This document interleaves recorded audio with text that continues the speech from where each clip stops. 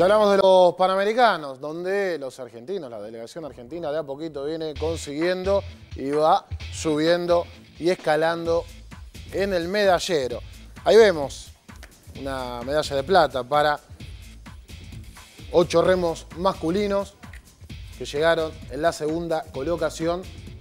Gran esfuerzo, gran remontada, pero adelante estaba Canadá, una de las potencias mundiales. También hubo tres bronces y estamos hablando de cuatro pares cortos femeninos. Otro en par corto masculino que llegó a través de Brian Rosso.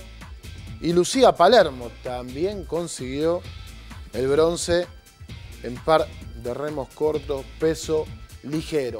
Ya anoche habíamos tenido la novedad de la jornada que el broche de oro lo dio el santafesino Federico Gravich, quien brilló, hay que decirlo, en 100 metros libres, en natación y se quedó con el oro, el récord argentino.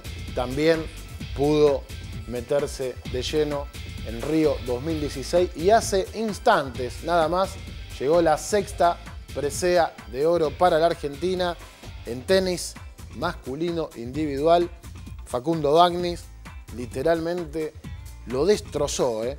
a Nicolás Barrientos, el colombiano 6-1 y 6-2 en 49 minutos nada más de partido para quedarse con el sexto oro de la Argentina que sigue en la posición séptima del medallero general.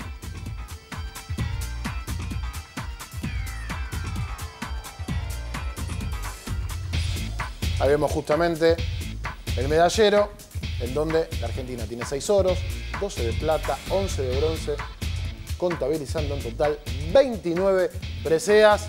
Hay que subir un poquito más, seguramente cuando llegue la actuación del hockey, la Argentina va a subir y bastante en este medallero.